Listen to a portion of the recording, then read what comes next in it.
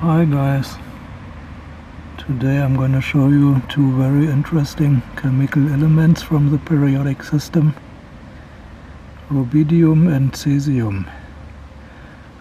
It's a very hot summer day in Germany and you can see the cesium is liquid in its liquid state. Its melting point at 28 degrees Celsius. Very nice golden liquid.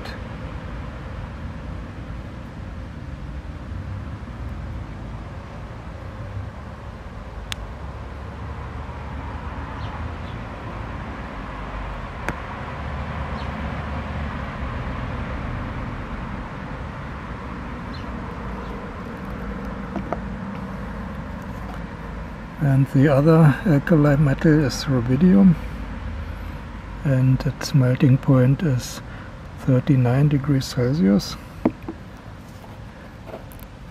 The metal is inside a very thin capillary and therefore it's difficult to show the liquid state but I will try it. You can see a small air bubble on the top of the capillary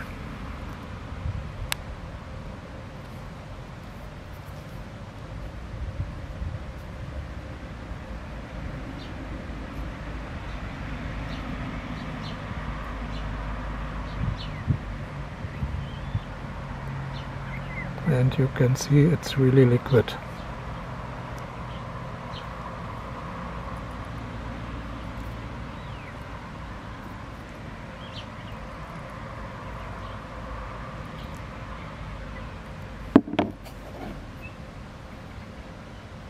Okay, I hope you enjoyed this